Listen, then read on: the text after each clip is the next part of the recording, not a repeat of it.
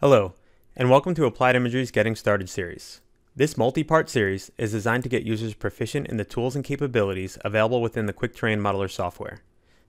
This chapter covers the useful tools for assessing the data quality as well as inspecting point level attributes. Let's get started by looking at a file's geotags and other header information.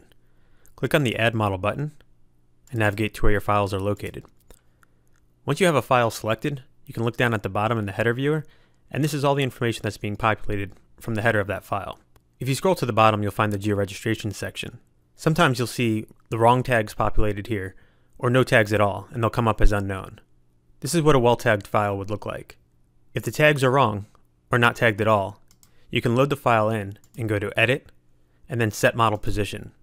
Now you can click the Relabel button, override native data projections, and there's four different methods to override the projection information.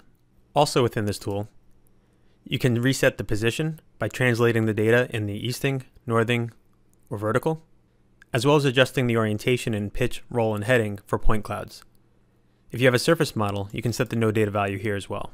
To look at model-specific information, simply left-click the model in the layer tree. This will give you information such as file extents, point density, and scale. Down at the bottom, we can create histograms of any attribute that's in the data, and can be exported as well. Speaking of attributes, there's also point level attributes. So I'm going to hold down the shift key and left click a specific point. And now that we've queried that point, we can see all the attributes associated with that specific point. This will contain all the attributes within the LAS or LAZ file, as well as any QT modeler generated attributes, such as slope and AGL values. We can also color and filter the data based on any of these attributes. These are our quick color buttons. I'm going to click on the QTA drop down here and color by classification. And now we can see each class in the file is colorized separately. Other attribute combinations, such as first, last, and intermediate returns, can also prove useful. Data can also be filtered based on attribute by going to Analysis, Filtering. There's a few separate filter tools. I'm going to start with the QTA discrete filtering I'm going to enter in my classification field and pack attribute into filter channel. It'll give me a listing of my classes that are found in the files. I'm going to click on my class 2 points, and now we can see all the point cloud is now filtered based on my class 2 ground points. Another filtering option is going to Analysis, Filtering, QTA Continuous Filtering. This tool is really designed for when you have a, a continuous ramp of values, such as Z, AGL, or I'm going to do intensity now select intensity, pack attribute into filter channel. Now you can see the point cloud is also colorized based on intensity, and I have a filter channel here by dragging these slider bars back and forth. So now we can filter the data based on the intensity value. A moment ago, I mentioned how to retag a file that might be unknown tags or tagged incorrectly. And that's different than converting a coordinate system. If you need to convert the coordinates, simply go to Edit, convert coordinate system. And just like in the previous windows, you have four methods of how to define the new coordinate system, and QT will do the conversion for you. If all you want to do is change the way the display units are being shown in QT Modeler, so not quite a conversion, just simply showing a different data unit, go to File, Options and Settings, and then Set Display Units. So right now I'm showing meters, which is the global default for this data set. I can switch that to US Survey Feet. And now all of my data units are going to be in feet. Now let's create a density map using the grid statistics tool. I'm going to turn off my vertex colors and turn on my height color. I'm going to click on my grid statistics button.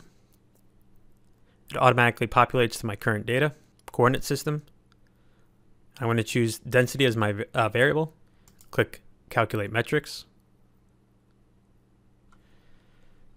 And I'll zoom out to show this is an overall density map of my nine separate files. We can see each individual scan line as well as the overlap areas. We can also see higher density in vegetation, which is pretty typical of LiDAR data. Another way to assess the quality of your data is generating spatial index. I'm going to close this window, go to Export, Create File Index. I'm going to select my folder to index, which is going to be my entire Getting Started series data. Click Select Folder. I'm going to save out an index file name.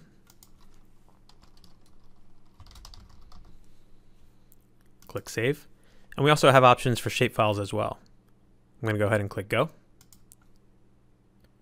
A log file opens up, tells us information about how many files were there, how many were properly georegistered. And QT Modeler will automatically open up Google Earth at this point if installed on your machine, and it'll zoom you to your index files. As I zoom in a little closer, each individual file will have a vector associated with it, as well as a marker in the middle, which contains metadata information about that file. I'm going to split my screen between Google Earth and QT Modeler now. And another nice way to assess the spatial information within your file is by using the G key in QT Modeler. So I'm going to zoom to an area of interest in QT Modeler. And I'm going to click the G key on my keyboard. And if Google snaps that location, you should feel pretty confident about the spatial information within the files. Note that you can also real-time sync Google Earth by clicking on the, the Google Earth Sync button. And now as I move around QT Modeler, Google Earth will show me that same perspective. And it also synchronizes much of my information. So as I drop markers by holding down the M key and left clicking in QT Modeler, it also creates them in Google Earth. If you have any questions or feedback about the content of this chapter, or any other topics in the Quick Terrain Modeler, please reach out to us. We'd love to hear from you.